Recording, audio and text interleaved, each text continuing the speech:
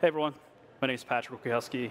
I'm a software engineer, uh, full stack engineer at uh, Lockheed Martin. Um, so I'm, right now I'm a product architect in our software factory, which is um, responsible for driving DevSecOps adoption um, throughout the company. So we push down uh, a lot of uh, different tools and services for programs um, and development or um, the delivery teams to ingest and, and leverage to make their, their lives easier. Uh, so quickly going to run through the agenda real quick. Um, going to have a quick intro. There's been a couple of different presentations already on, on sort of supply chain security and kind of where it stands today. Um, so make it quick. Uh, some of our initial goals when it comes to, from an enterprise level, uh, what we were after. Um, the implementation that we're currently working towards, uh, some of the spe specifications and tooling that we're using. Um, and then I'll quickly run through a demo. Um, ma mainly, it's mainly a, really just a walkthrough, so I'm not staring at slides this whole time. So let's get started. Um, so I think most people, uh, you know, have some general idea of what a secure supply chain kind of is, and here's a clear definition, being a set of processes used to deliver software to production, including all its dependencies. That's a big part of it. Uh, securely, reliably, and consistency uh, with, with regular updates. Um, so if we, if we try to break that down a little bit more, uh, we look at uh, three big qualities in a given software component, the provenance, pedigree, and integrity. Uh, so with provenance, we're looking for a component record of, of existence, sort of that, that medical record um, for a given piece of software. The pedigree, um, which is the quality, and it's that of the components and ingredient, really it's the ingredient list. Uh, and then integrity. Um, can you trust the software? Um, has it been compromised? Um, so uh, switching into sort of the kind of why we're here today. Um, obviously, there's been a, quite a few uh, supply chain hacks um, more recently uh, that drove the government to uh, put out quite a few different document, uh, documents and executive orders on improving the nation's uh, cybersecurity. Um, and with, with the uh, executive order, we have an emphasis, a really big emphasis on SBOMs. But um, additional to that, and a lot of what we're focusing on, uh, is, is the testing piece to secure software um, development practices and the integrity and providence on a, on a given piece of software that we're delivering. Um, so some addition, additional pieces that are out there, the White House uh, national uh, cybersecurity strategy. Um, you'll see SBOMs all over the place. Um, and and they are important, but our, we're shifting sort of towards the SBOM attestation piece um, more specifically. Cool. And so, sort of, uh, I guess the we have the government kind of putting down, putting out the literature um, and, and kind of driving our focus. Um, I, I, think a big, this was coming to an end or a tail or whatever you want to call it, um, regardless, given the consumption of open source all over the place, it's used everywhere. Um, and, it, and, it, makes sense. It's, you know, it drives down cost um, makes, uh, with definitely maintaining any, any of your own code. Um, so it, it, definitely is a huge, huge uh, uh, increase in productivity, uh, leveraging a lot of what's out there already. Uh, but with that come risk. And so um, these are just some of the stats that you'll see uh, from from GitHub and Synopsys and um, Sonatype, like state of the software supply chain. Um, so it's just, this is just kind of just proving that, hey, it's everywhere. Now we, we really should be doing something about it. Uh, so like the uh, require, required qualities that I mentioned uh, previously, provenance, pedigree, and integrity, um, this is sort of the breakdown of what we're, what we're after for each of these pieces. Uh, and we've heard a lot about them before, but attestations or that metadata, that, that record um, for, for a given piece of software. Uh, there's another piece to that, which is self-attestations for when you, when you have to actually deliver software um, to the government. There's, there's going to be a form to fill out, and these two, attestation and self-attestation, can kind of go hand in hand with that.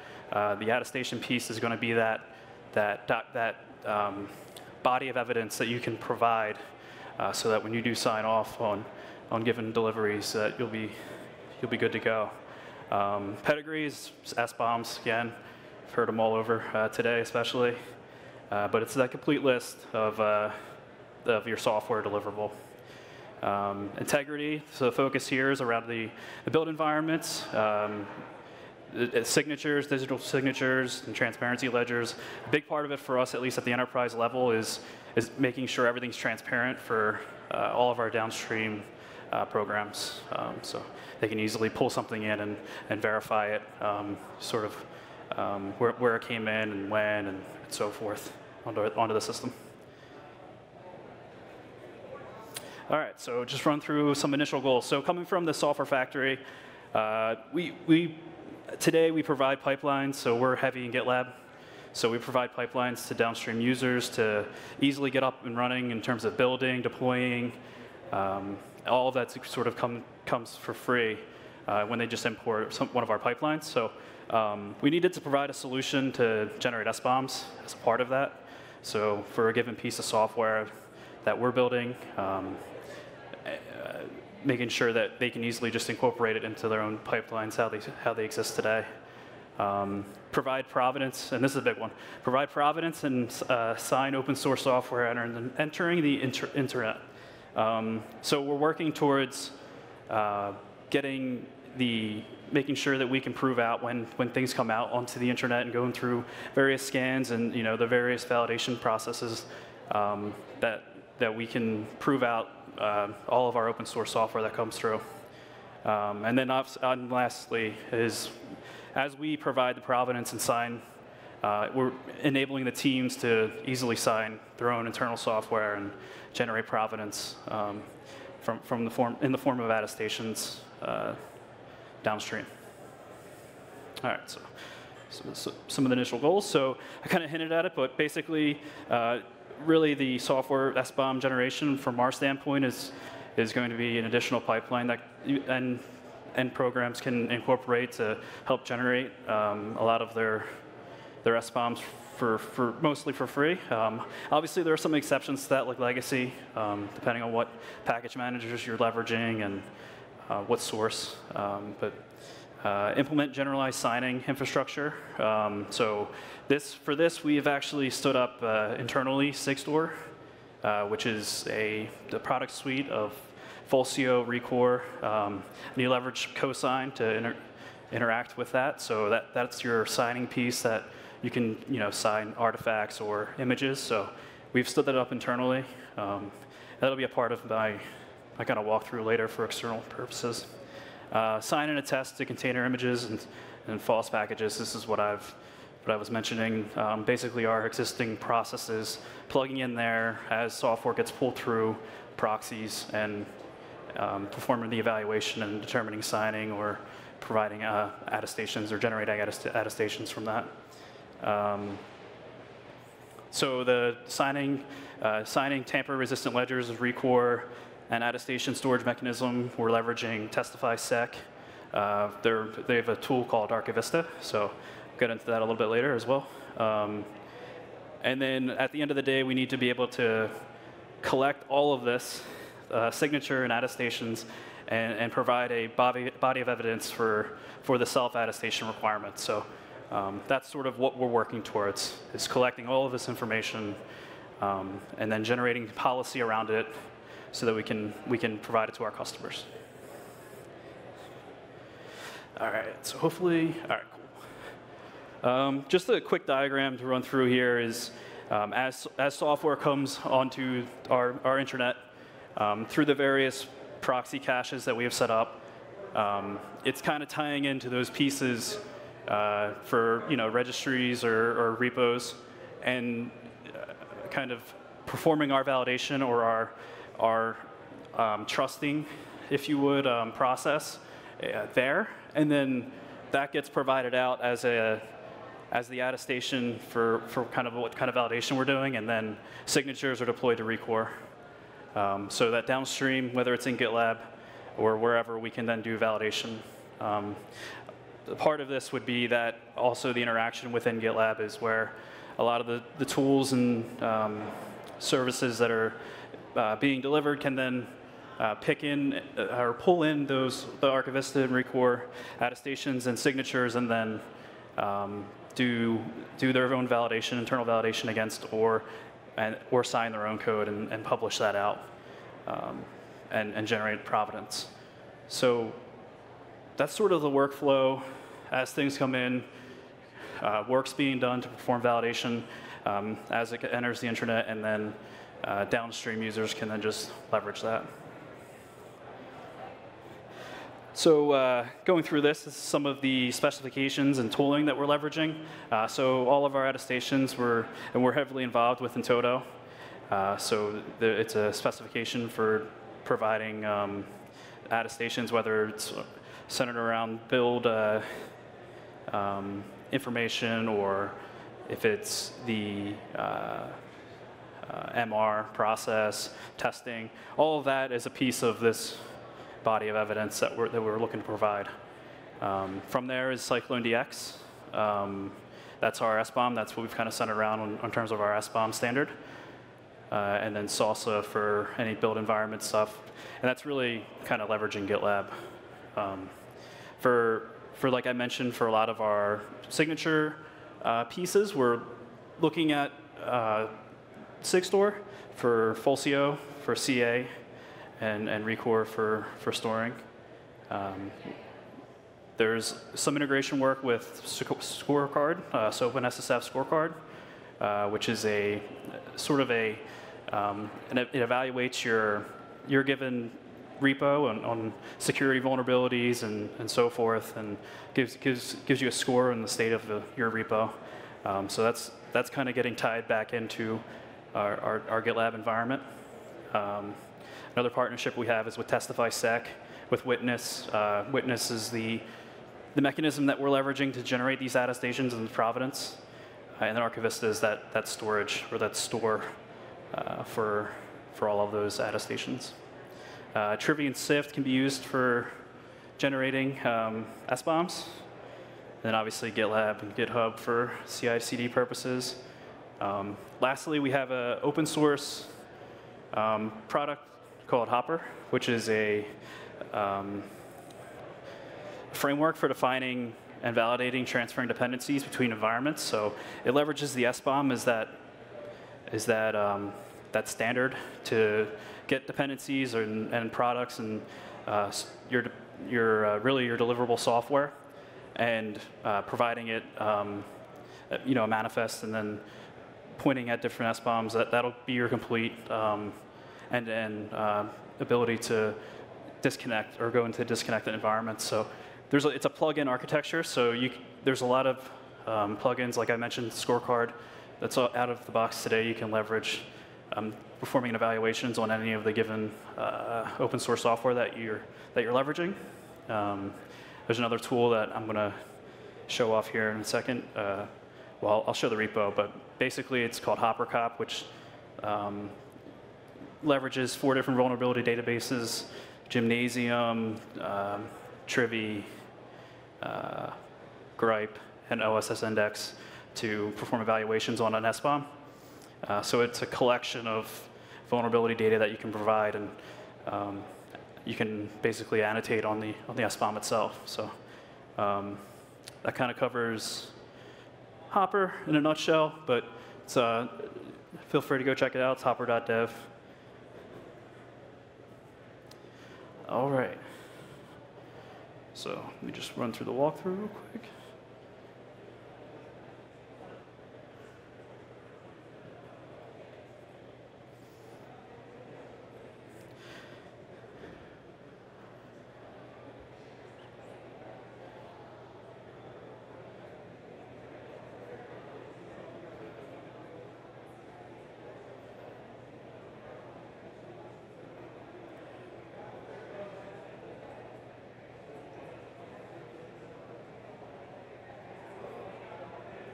Looks like it's uh, not sharing.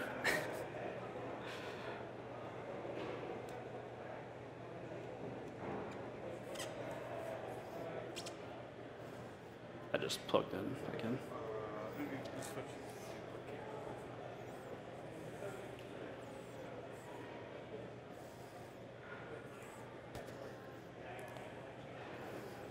Cool, thanks. So this is a repo for that uh, HopperCop. Uh, what I'm trying to, what I'm going to show here is how we leverage Witness, um, how, how it runs, and, and how it exports its attestation and providence creation um, out to Archivista, which is its data store, um, and uh, also performing a signing event with Cosign, leveraging Fulcio. Um, this is all publicly available um, services that you can sort of just use today out of the box. Um, so I'll show a little bit of what, what happens. And it's, it's really just Witness is really just a wrapper for uh, any kind of commands that you run. Um, you, can, you, you, can add it in, you provide, they call them attesters, so different uh, processes run um, depending on where you're running from in terms of um, CI/CD environments, and, and then that'll collect that data and publish it into the attestation for you. Um, so then downstream, you can write policy against, and I have an example of all of, all of this. Um, so let's dig in here. So quickly just looking at it, um, this is just a simple Python CLI uh, that we're leveraging poetry. Um, but basically, you, you wrap the poetry build uh, with a witness run, and then this is that testers, Git, GitLab. Um, you provided a step, what's, what, what's happening, and then, and then it's basically enabling um, Archivista uh, let, point it towards Fulcio, so it signs the attestation with Fulcio. Um, and providing a uh, timestamp server because Fulcio, all the certs are uh, sh short time to live, so they only live for 10 minutes as they get generated. Um, so it's, it's fairly straightforward to just incorporate. So it's just a you know install and then run. Um, and then downstream here, you got a cosign sign blob of, of a given. Uh, this is just for this purposes. It's the wheel file that that we're outputting from the build. Um, so I have another example of, of where we're leveraging it with uh, when we build a Docker image, for example. Um, Oh, sorry. So this is the publish. So this is just the signing event that's on the publish of a of an image. So it, you can sign images or or blobs. Um, so this is the pipeline. See it run real quick.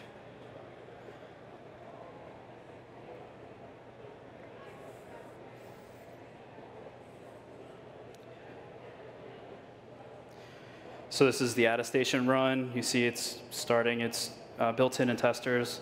Um, and then you'll see it, it's, start, it's stored in Archivista, and then you can see the output of the signature. Uh, so this is the cert, and then it's entry into Rekor. So this is all in the public Rekor uh, instance. Um, let's see here.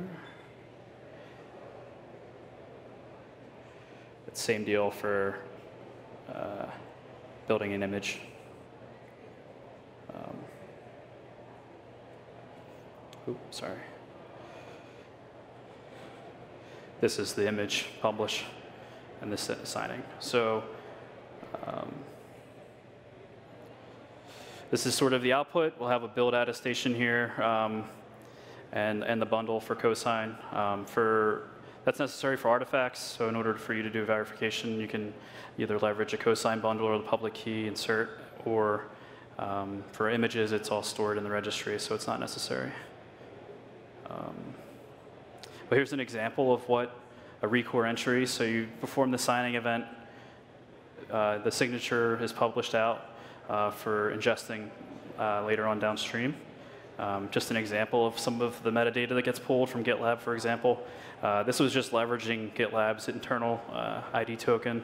Um, so they provide an ID, token in a given runner, and um, you can just leverage that and publish it to Fulcio to get your cert. So basically, um, you get a bunch of metadata um, for, for this, and it includes the um, di digital signature as well um, down here. I just wanted to show, I mean, it's, it's a mess, but here's a, an example of what the attestation would look like encoded, but uh, um, you can see there's quite a bit of data here, but we can easily just show, uh, have an example here of, of it broken down.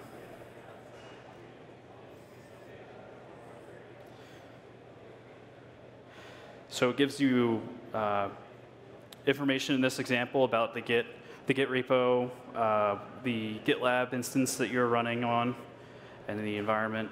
Um, and then additionally materials, so all of all of the, the files and, and uh, everything accounted for in the given repo is all included here.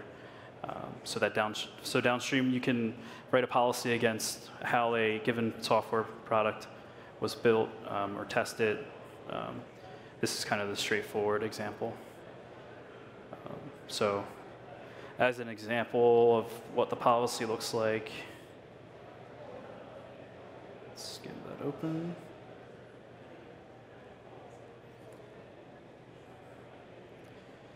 So basically all I'm looking for here is that it includes the testers that I was expecting and then uh, from a Fulcio perspective that the URI matches um, the, the signing uh, party from the, from the metadata perspective. But you can, you can dig into this more obviously with, make it as really as granular as you need it to be from each of the different pieces of metadata that you're, that you're collecting from, from the attestation generation.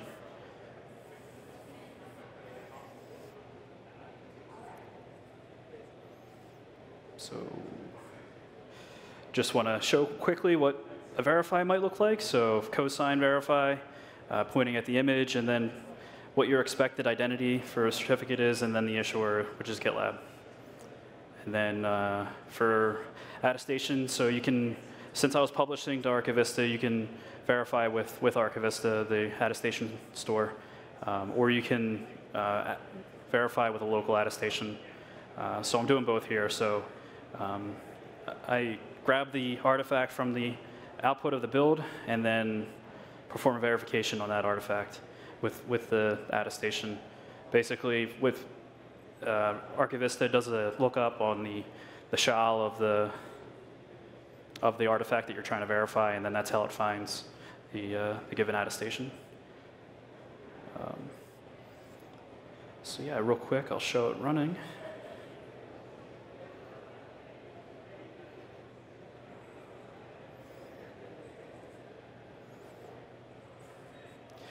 So it's, it's uh, not a whole lot to look like other than you see that it's good. So given that policy that was generated for an attestation, um, it successfully verified against the policy that was written.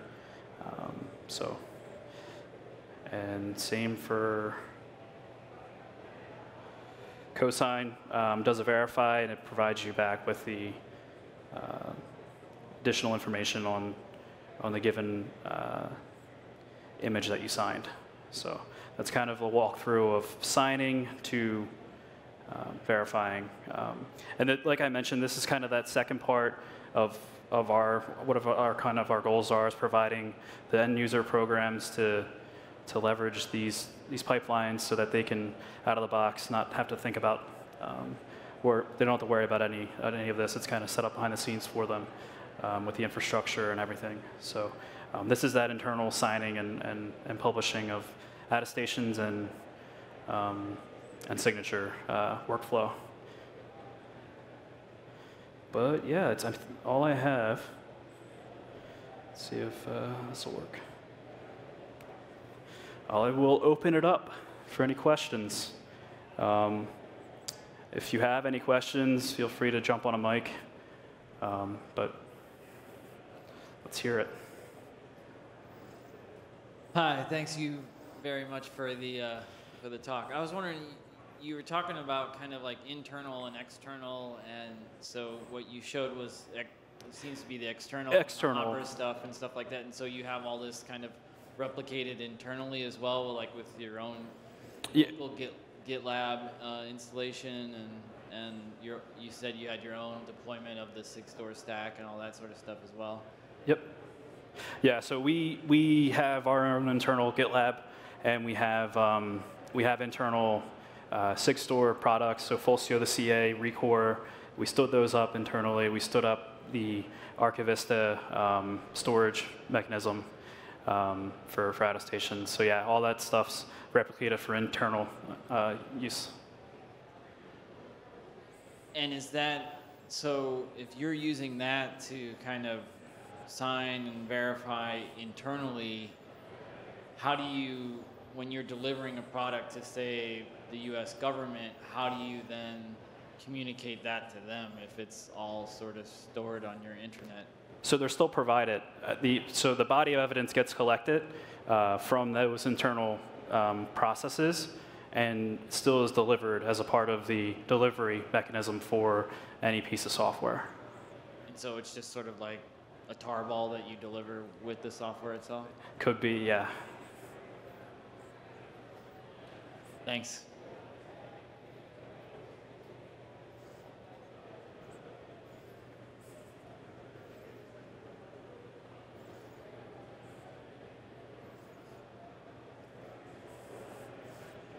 Cool. Any other questions? All right. Thanks, everybody. Appreciate it.